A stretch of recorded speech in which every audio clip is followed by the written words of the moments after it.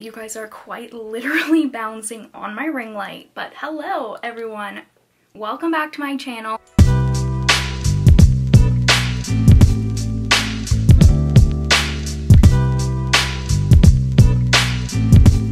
Happy New Year.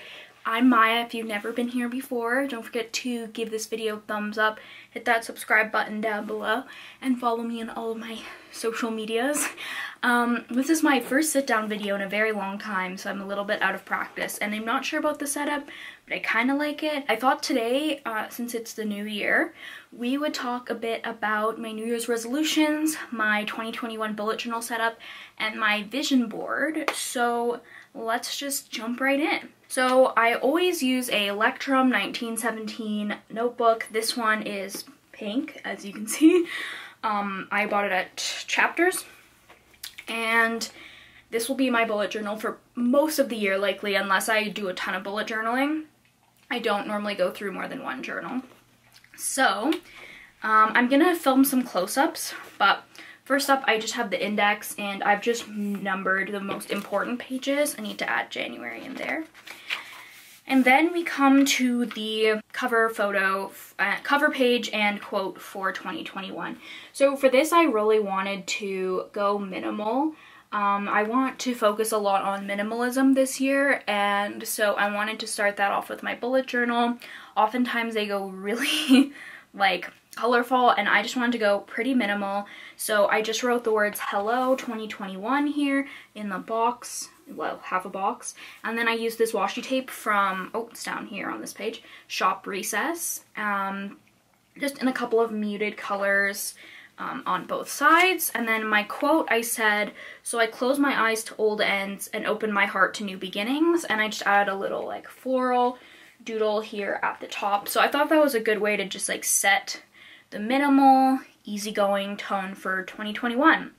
So Next up, I have my future log here. Um, normally I don't do it this way, but I watched a ton of videos and I really like how it looked. So I laid out the months, um, six on each page, so I had space to write the most important days from each year so far, or from each month. So far I only have like um, people's birthdays that I could remember off the top of my head. So if you don't see your birthday in here, I still care. I just don't remember the exact day off the top of my head.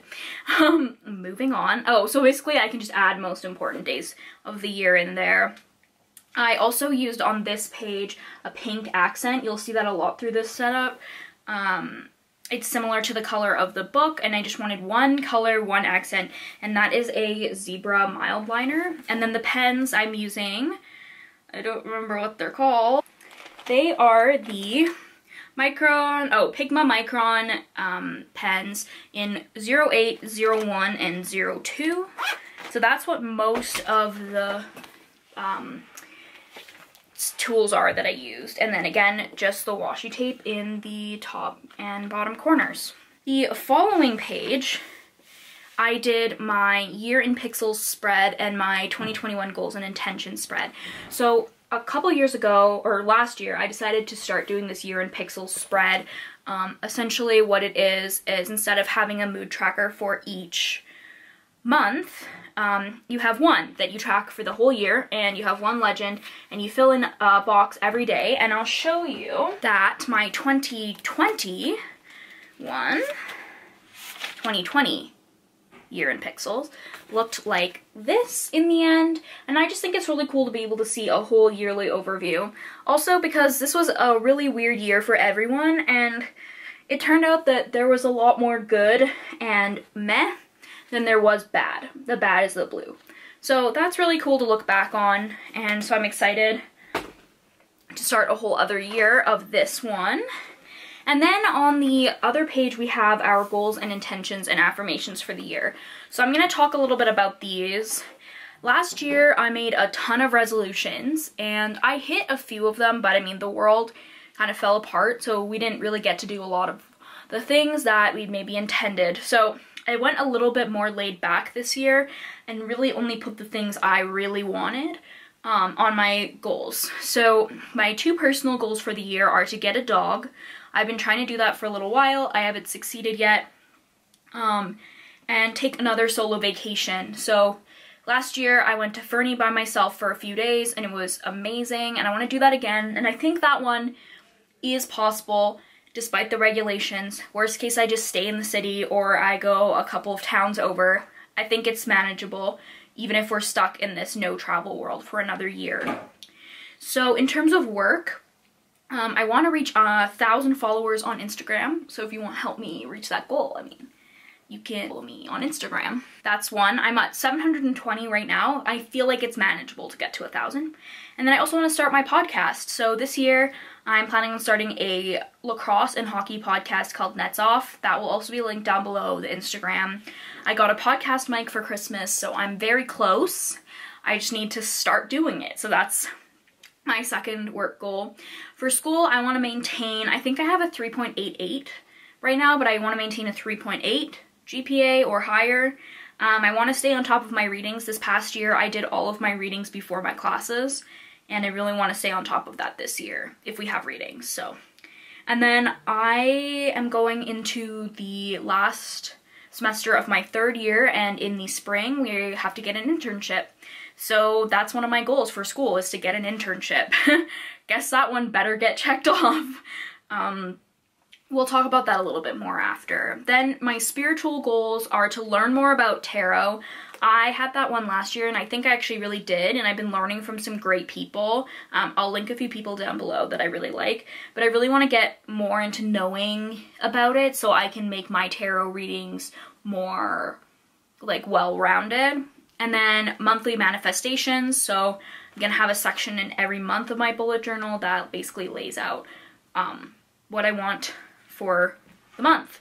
Um, so yeah, those are my spiritual goals. Um, social goals are to have more coffees or virtual coffees with people. I really like doing that. It really energizes me and I always forget, so I want to put more time into that and to go out more when the opportunity arises.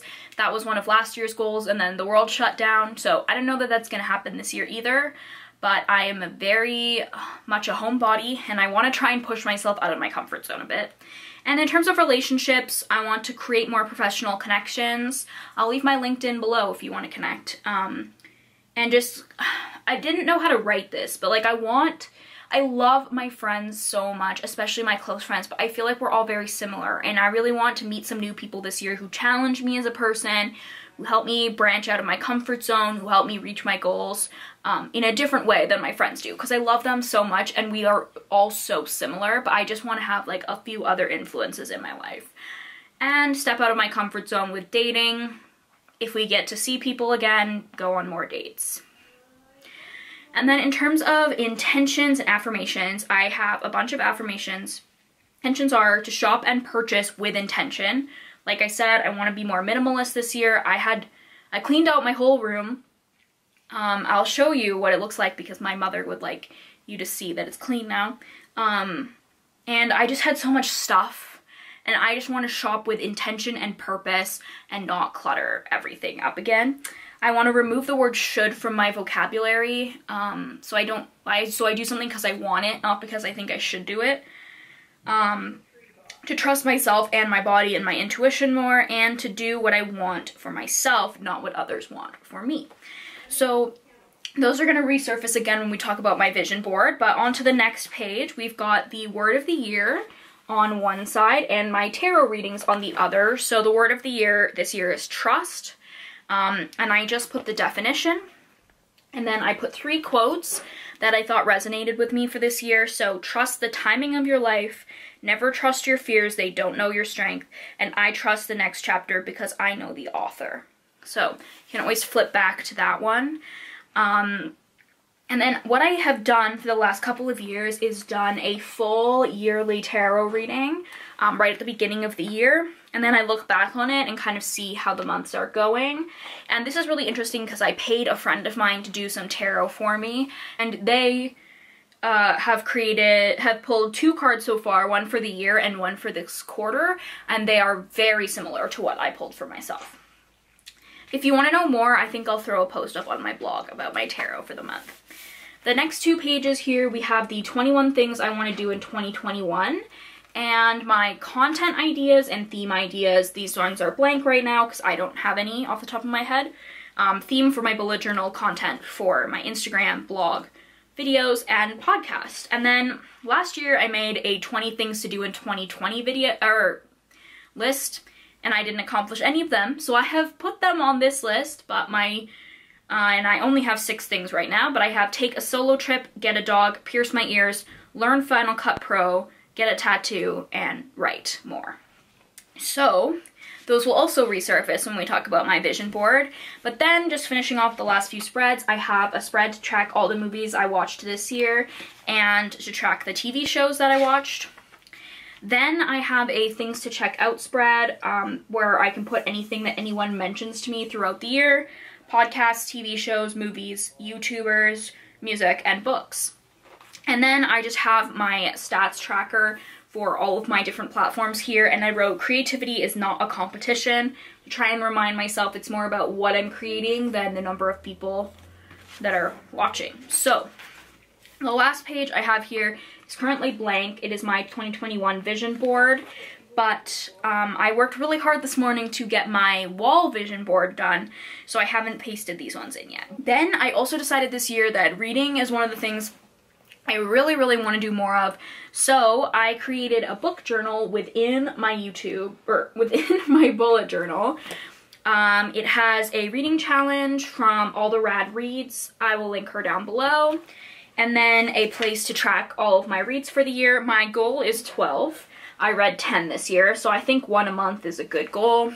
And then any books that I want to read whether I own them or if they're from the library. And that's it for my setting up for 2021. I have my January spread in here, but I'm not going to show you guys that right now. So yeah, that's basically my intentions and my planning for the new year. So the only thing I really have left to show my vision board. So the way I built my vision board is I put I pinned a ton of pins on Pinterest. So this year, because I love vision boards so much, I'm making three.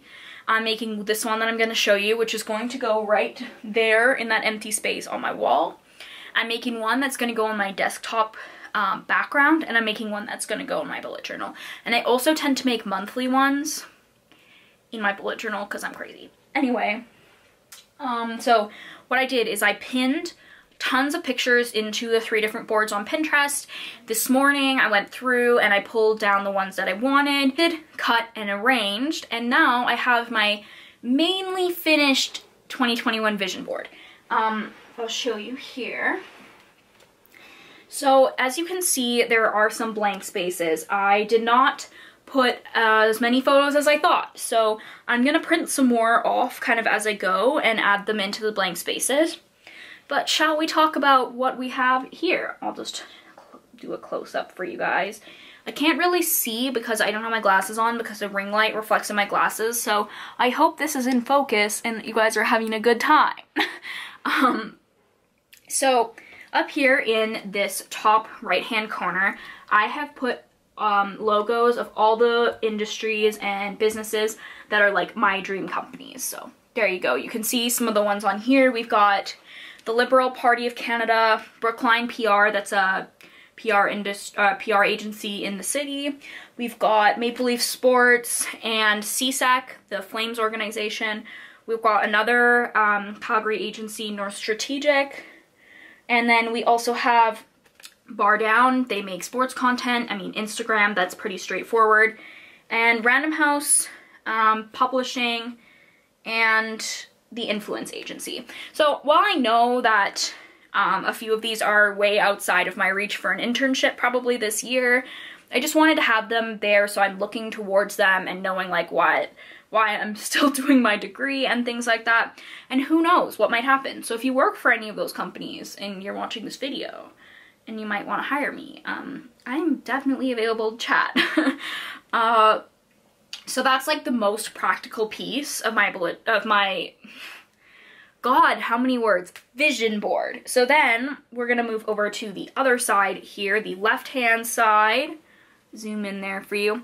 So here we've got getting a tattoo. You'll see that the way I built this vision board is I took the things that are on my to-do list for the year and on my intentions, affirmations, and um, goals, and I visualized them. So I have uh, tattoo. I want to get a palm tree.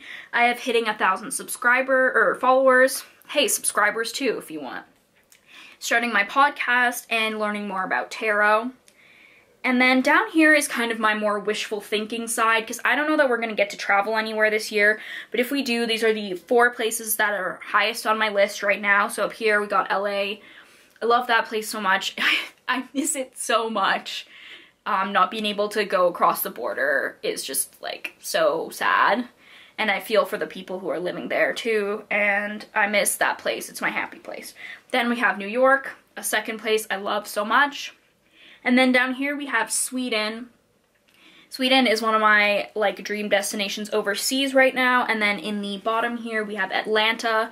I've just been hearing so many good things about it and I actually chose this image specifically because it has the Coca-Cola Museum.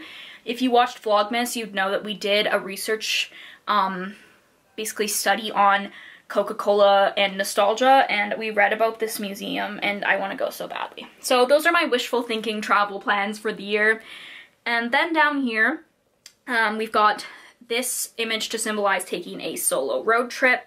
We've got getting coffee with somebody, and then I've got the two pictures of dogs here for my getting a dog. Um, I Frenchies are my favorite, but I've also found so many Italian Greyhounds on Instagram that I love. Um, Tika, the, I don't know, Iggy, she's so freaking cute. And this one's wearing a sweater, which is really important to me. I want my dog to be able to wear clothes. So these are to represent getting dog this year. Um, up here is my getting good grades image and this one's just like about school, having a good setup, doing my readings, being all like, you know, academic and that kind of stuff. This is seeing my friends more and making better connections. This one is a little bit of romance, gotta put the romance on the vision board. And then this one is writing. And yeah, that is my vision board as it currently stands. But anything else I add will probably be of the same um, kind of ilk. If not, maybe a little bit of fashion stuff and shopping. That kind of thing for my minimalist idea. But yeah, I'm to put this up right there. And I'll be able to look at it all the time. So, I want to know what your intentions are and your goals for the new year. And honestly, if you don't um, want to do this, that is totally fine. I've seen a lot of people whose resolutions are just like, be healthy, be happy, like be who I am and continue to make myself better. And that is totally valid, 100%. I am somebody who sees a new year, a new month, a new week as such a transition point and I love planning and making vision boards and making my bullet journal spreads for every month. So for me, I love having goals and intentions to guide me for this year, but I also don't hold them as the highest power. If something in my goals doesn't fit me in a month, two months, three months, whatever. It's not the end of the world if they don't get completed. So that is my um, little speech about that. But if you do have some goals or intentions or something you really want to do this year, leave it in the comments down below. Let me know what you're looking forward to this year.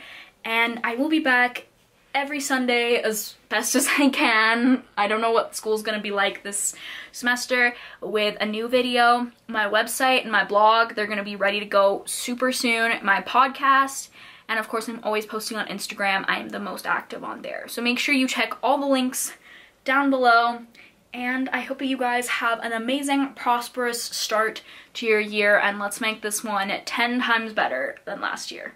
Bye!